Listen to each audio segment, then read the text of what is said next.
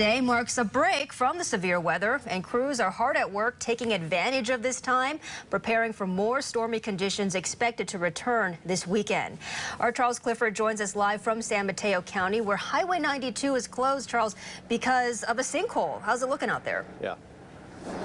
Yeah, well, right now I'm standing along Highway 92 right at 35. Uh, this is Skyline Boulevard. You can take a look behind me there. Caltrans has this uh, Route 92 between here and Pilarcitos Creek Road shut down, and that is because of a sinkhole that is getting bigger. Let's go ahead and take a look at some video. Now, this uh, situation kind of started on Wednesday during heavy rains when they noticed sort of a dip in the road near the uh, Christmas tree farm, if you're familiar with the area, near Pilarcitos Creek Road. That eventually developed into a sinkhole in the westbound lanes. For a while, uh, Caltrans CHP was able to do uh, control traffic on the eastbound lanes through that area, but about 3 o'clock early this morning, they realized that that sinkhole was getting bigger and it was threatening the entire roadway, so they have shut the entire section of road between where I'm standing right here and down by that uh, Pilarcitos Creek Road. It is all shut down, and there is no ETA for when this might be repaired. We're expecting more rain in the near future, so this could, uh, this sinkhole could get worse. Now, if you're in the area, you need to get from 280 down to Half Moon Bay or vice versa.